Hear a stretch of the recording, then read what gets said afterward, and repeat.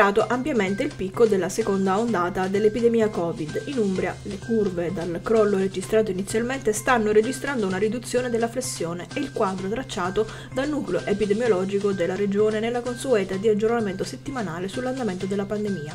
I dati, è stato spiegato, stanno evidenziando un calo dell'incidenza anche nelle aree più a rischio dell'Umbria, ma testimoniano che il virus sta ancora circolando. Anche riguardo agli attualmente positivi, la discesa verticale ha cominciato ad essere un po' più appiattita e pur continuando a scendere sta avendo una minore flessione rispetto a quanto successo precedentemente, secondo quanto sottolineato ancora dagli esperti del nucleo epidemiologico.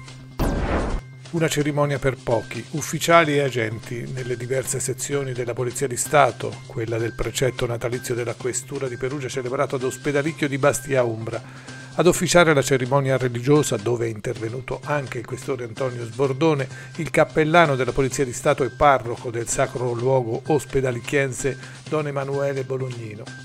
Nella sua omelia Bolognino ha parlato della figura di Gesù, raccontando di un bambino e di una senza fissa dimora e di come entrambi avessero in quell'occasione incontrato il figlio di Dio sulla base della carità di Natale diverso ma carico di speranza per un futuro migliore ha parlato invece il questore nel suo breve saluto ai suoi uomini e alle sue donne. Noi lo abbiamo intervistato.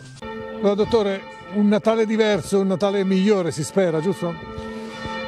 Sì, infatti, eh, una diversità che voglia significare recuperare il senso del Natale, quello che appunto ho augurato a me stesso, ai miei uomini, auguro a tutta la nostra comunità. Veramente dobbiamo sperare eh, in un Natale ed in un futuro migliore. Stiamo andando verso quello che è una restrizione più forte proprio a ridosso di queste festività. Sarà complicato, dottore? Io eh, quello che auspico come appunto responsabile della, della, sicurezza in questa provincia è che eh, le norme siano eh, il più possibile chiare eh, perché questo ci rende il lavoro più facile e possiamo eh, spiegarle eh, meglio ai cittadini e applicarle diciamo, con maggiore eh, semplicità perché altrimenti si creano equivoci e si creano anche eh, situazioni appunto complicate da gestire che noi soprattutto in questa fase, in questo periodo particolare vogliamo assolutamente evitare. Diamo un'occhiata a quello che è stata l'attività negli ultimi mesi, nei mesi in cui lei è arrivato nella città di Perugia e sul territorio. Quali le maggiori difficoltà incontrate? Ovviamente un, uh, un periodo condizionato, come sappiamo, dal, dall'epidemia.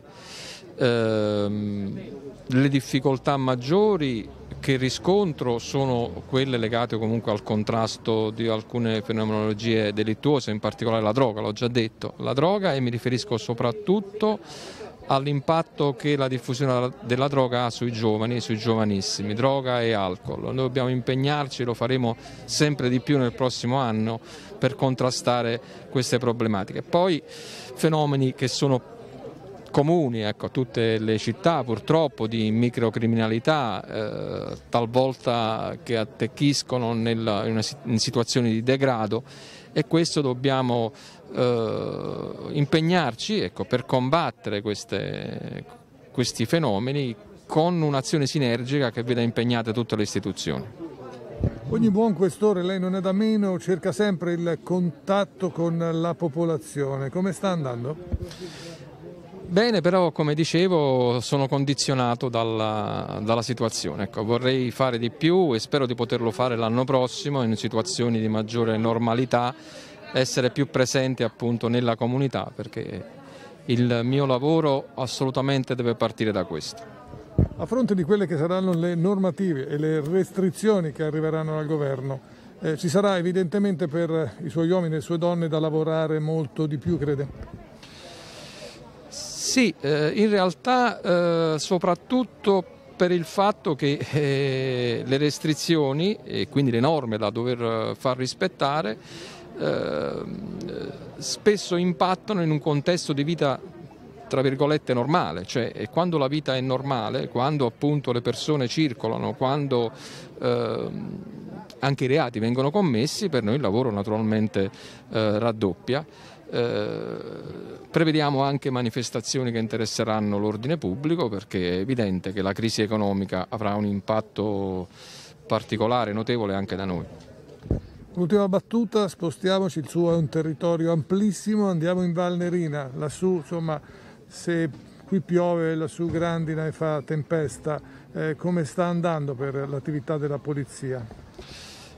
No, non riscontriamo particolari problemi sotto il profilo della delittuosità, eh, una popolazione che soffre maggiormente in questo periodo e che ha bisogno effettivamente della vicinanza di tutti, di tutte le istituzioni, cosa che proviamo a fare come, come sempre e come doveroso.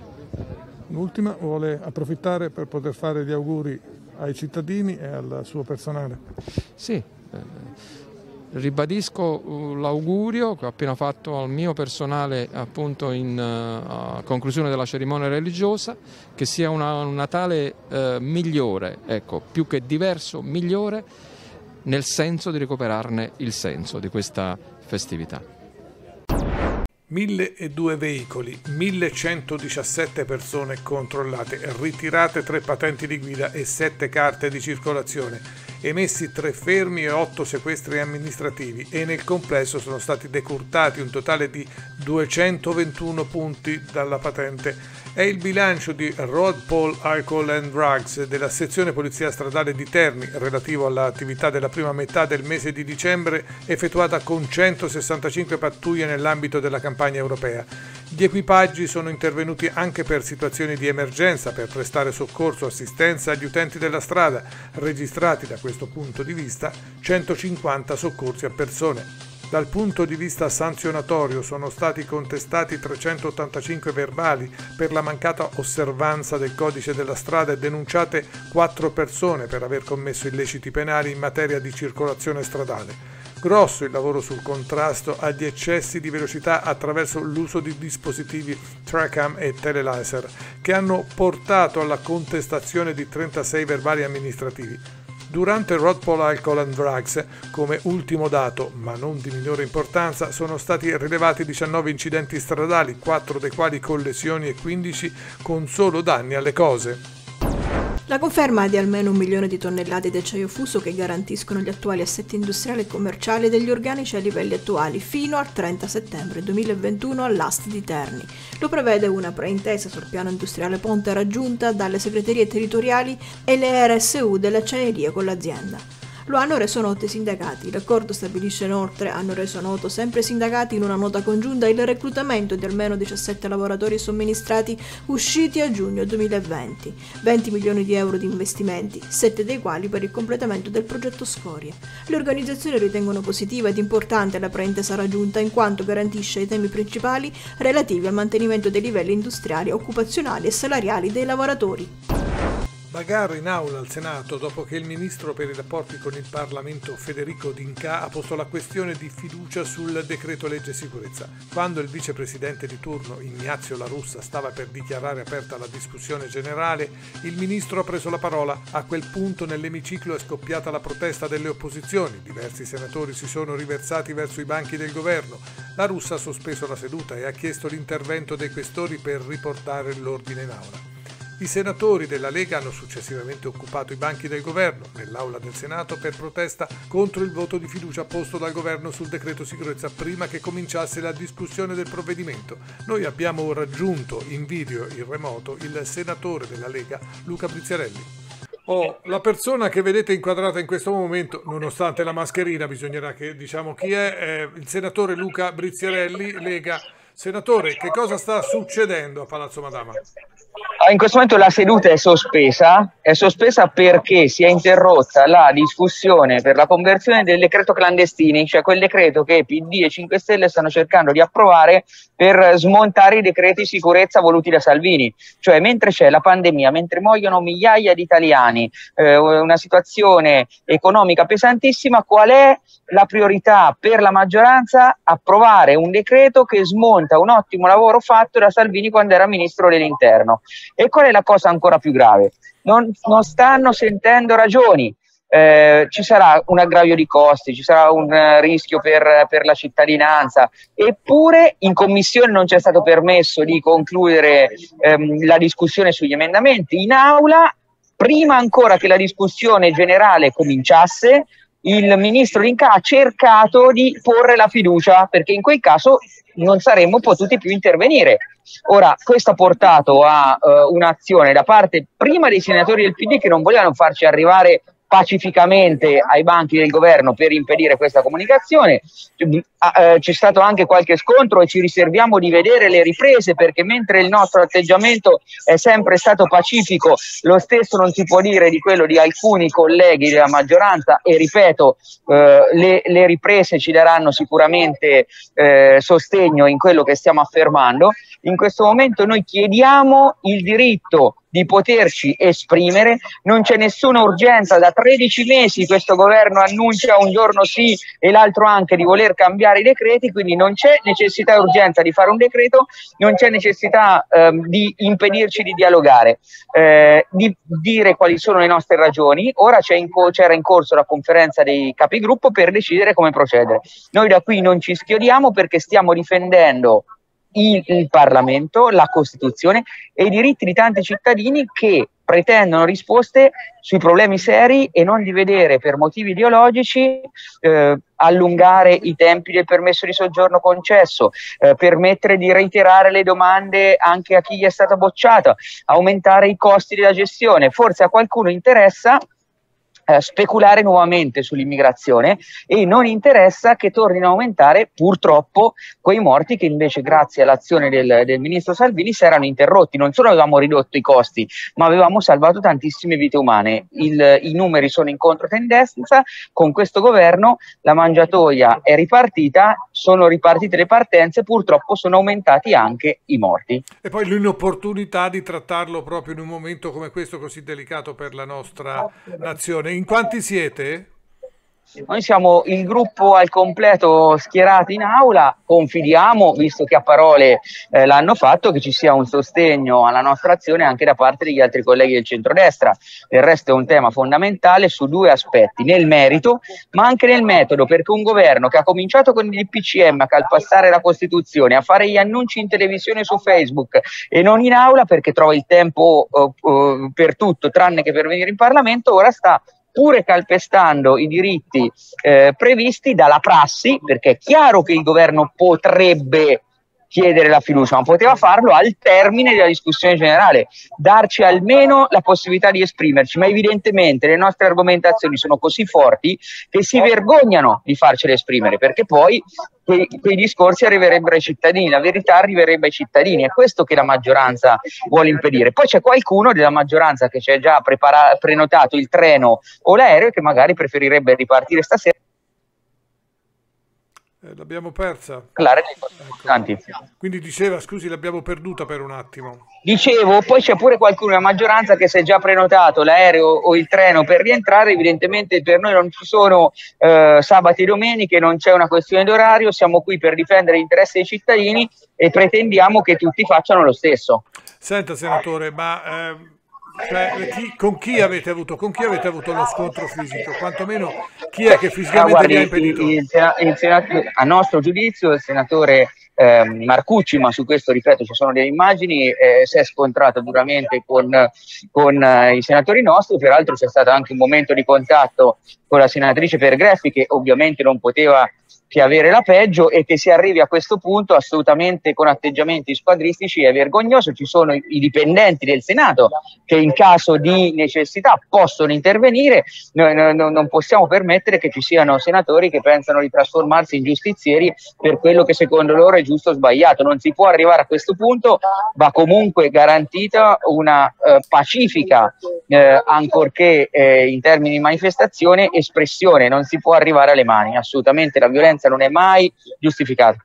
Quindi andate avanti ad oltranza ad occupare la... Ora stiamo, stiamo, valutando, stiamo valutando come procedere, sicuramente se non dovessero essere eh, tutelati e garantiti i nostri diritti di parlamentari eletti dal popolo, perché a noi ci ha eletto il popolo a differenza del, del Presidente del Consiglio che è sì per carità votato da un Parlamento ma che non è più rappresentativo di quello che è il comune sentire della maggioranza degli italiani, eh, ci faremo valere e... Eh, no, non ci diciamo sicuramente eh, non ce ne andremo da qui.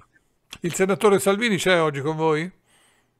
Eh, è, è, qui a Roma in questo momento non, non, non si trova in aula, ma ovviamente qui è intervenuto anche per salutare e questo è un momento positivo, il, il rilascio dei, dei pescatori. pescatori. Ovviamente, certo, certo, eh, noi salutiamo con positività il lavoro dell'intelligence, stigmatizziamo i 108 giorni e ce ne sono almeno un centinaio di troppo di incapacità eh, da parte del governo e soprattutto riteniamo che si doveva prima farli arrivare in Italia e poi montare il circo mediatico al quale il Presidente del Consiglio e, e il suo eh, portavoce ci hanno abituato purtroppo in questi mesi, visto che per loro conta più l'audience che l'effettiva sicurezza dei nostri connazionali, altrimenti si sarebbero mossi prima.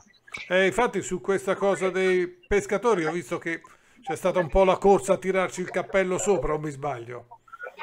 Beh, no, sicuramente non elegante, è irrispettoso e rischioso. Dopodiché, ripeto, siamo tutti contenti, tutto il Parlamento aveva portato comunque eh, una modifica al decreto ristori per pensare anche al sostegno economico delle famiglie, si poteva fare di più anche in questo caso, ma comunque qualcosa eh, è stato fatto, però non si specula su questo. Ho capito. Allora, senatore, noi siamo qua. Lei quando vuole ci avvisi perché riapriamo questa finestra. Va bene? Buona giornata. Arrivederci anche voi. Siamo alla mensa San Valentino di Terni, gestita dalla Caritas della diocesi di Terni Narni Amelia con uh, il direttore ideale Piantoni. Vogliamo fare un quadro sulle povertà della, della città che eh, si è un po' amplificata la povertà in città eh, grazie a questa eh, pandemia. Il perdurare della pandemia ha aggravato ancora più tutte le situazioni e ci ritroviamo con eh, delle bollette esorbitanti, delle, degli affitti, un cumulo di affitti di 6-7 mesi, situazioni gravi, aggravate magari da quelle situazioni familiari che la pandemia ha accentuato, no? la violenza familiare e l'abbandono della famiglia da parte di qualche uomo, quindi mamme sole con bambini. C'è la paura che finisca o che venga sospeso questo reddito di cittadinanza perché alcuni eh, stanno valutando le situazioni mano a mano e quindi sono disperati, mancando un mese o due il reddito si trovano in difficoltà grande facciamo quello che possiamo, ne facciamo tante, però dobbiamo essere consapevoli che facciamo dei tamponamenti. Ecco, tamponiamo, non riusciamo a risolvere le questioni così gravi. Ecco, siamo in prossimità delle festività natalizie, cosa state mettendo in campo proprio in questi giorni? Allora, adesso innanzitutto abbiamo fatto una raccolta in chiesa il 13 dicembre per la terza domenica di avvento, quella in Gaudete, perché abbiamo bisogno di liquidità per, per pagare le bollette, per aiutare queste persone e quindi questa è la prima cosa. L'emborio sta andando avanti, abbiamo fatto una raccolta sempre nelle chiese per i generi alimentari di cui bisogniamo di più. Ci sono tante donazioni per fortuna, questo è il bello, tante donazioni che fanno molto piacere, sia alimentari che in buoni spesa, che aiutano tantissimo. Cerchiamo di sostenere anche le parrocchie che curano tutte queste persone, più di noi forse. Ecco perché sono proprio dalle parrocchie che vi vengono segnalate le situazioni di criticità. Sì, dovrebbe essere sempre in quel modo. Delle volte bypassano le parrocchie, vengono direttamente da noi e noi riconvolgiamo la loro parrocchia e ci uniamo a loro e anche a, ad altre associazioni, al comune quando c'è bisogno e cerchiamo di aiutarli come possiamo. Ecco.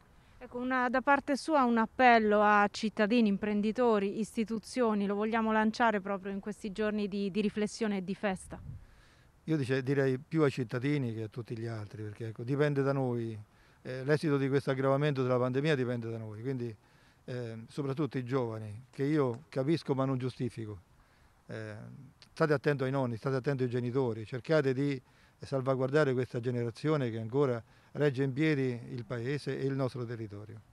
Presidente Venturini, oggi un segno importante per la diocesi di Terni Narni Amelia, l'inaugurazione qui alla mensa San Valentino di un gazebo a supporto dell'accoglienza. Sì, dell'accoglienza per eh, fornire dei pasti caldi alle persone che eh, per diversi motivi non possono accedere ai locali della mensa. Allora abbiamo pensato di fare questo gazebo riscaldato e, e le persone che, ne so, che hanno eh, 37,5 di, di temperatura corporea perché noi misuriamo la temperatura a tutte le persone che entrano e quindi chi ha 37,5 oltre non possono accedere, allora gli diamo un sacchetto con, con il cibo caldo e lo possono consumare dentro, dentro il gazebo. O, o, quando la sala è piena, in questo momento per le norme Covid più di 10 persone non possono, non possono mangiare. Quindi quando è piena e non vogliono aspettare, allora gli si dà la possibilità di accedere a questo gazebo. E è stato fatto in realtà in occasione della giornata del Mondiale del Povero, istituita da Papa Francesco, e eh, l'abbiamo diciamo, non inaugurata ma eh, l'abbiamo aperta in, que, quel, in quell'occasione e oggi in occasione del Natale abbiamo pensato di dare, fare questo segno. Ancora una volta nel palazzo della provincia di Perugia si elogiano i valori della natività con un'opera d'arte presepiale di grande rilievo. Nel segno della tradizione, ieri mattina al secondo piano dello storico edificio di Piazza Italia è stato inaugurato il presepe allestito davanti all'albero di Natale in collaborazione con l'associazione Amici del Presepio Gualtiero Angelini di Città di Castello. Una cerimonia in tono ridotto, che quest'anno, come ricordato dalle parole del presidente Luciano Bacchetta, assume un significato particolare sia per il difficile momento legato all'emergenza Covid-19 che per la recente ed improvvisa scomparsa del maestro Giulio Marucci, artista geniale, fra i fondatori dell'Associazione Amici del Presepe, che ha realizzato il presepe di oggi con un tema a lui caro, i vicoli e scorci più suggestivi del centro storico di Città di Castello.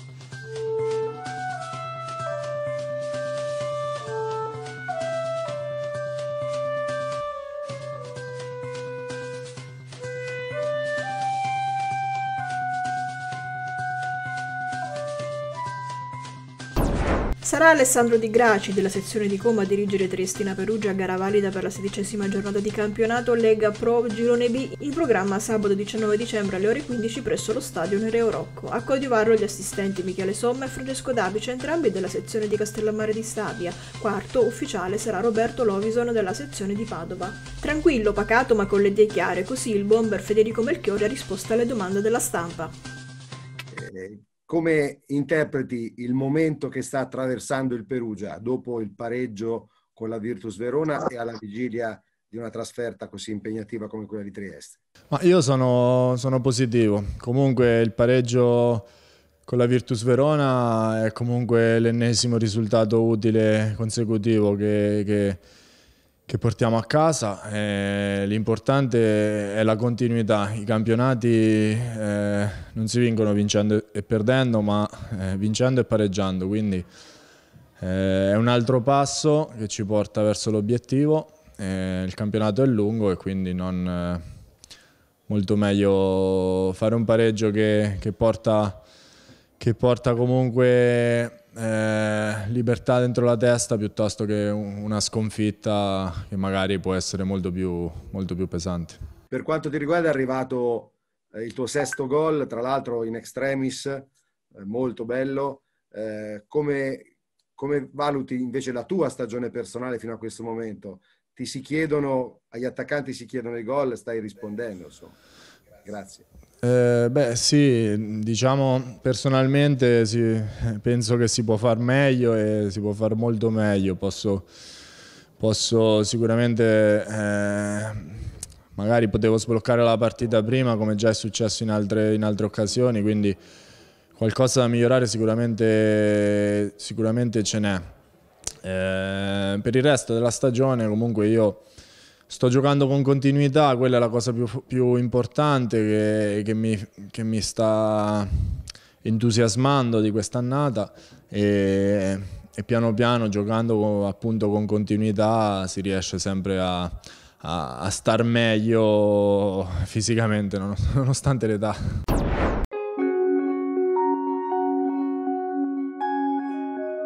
Ben ritrovati amici del Centro Meta Italiano. L'alta pressione porta tempo per lo più stabile in Italia, ma anche molte nuvole. Vediamo però nel dettaglio le previsioni per venerdì 18 dicembre. Deboli piogge al mattino possibili su Liguria, Sardegna e Sicilia orientale. Asciutto altrove ma con molte nubi anche compatte su Pianura Padana e Medio Adriatico. Al pomeriggio ancora piovigini su Liguria e Sardegna, variabilità asciutta altrove. In serata e nottata deboli precipitazioni possibili su Liguria, Lombardia, Toscana e Sardegna, stabili altrove ma con molte nuvole specie su coste e pianure. Temperature minime in rialzo specie al centro-sud, massime stabili o in lieve calo. Per ulteriori dettagli seguite le previsioni aggiornate sul nostro sito o sulla nostra app Meteo. Un saluto da parte del Centro Meteo Italiano.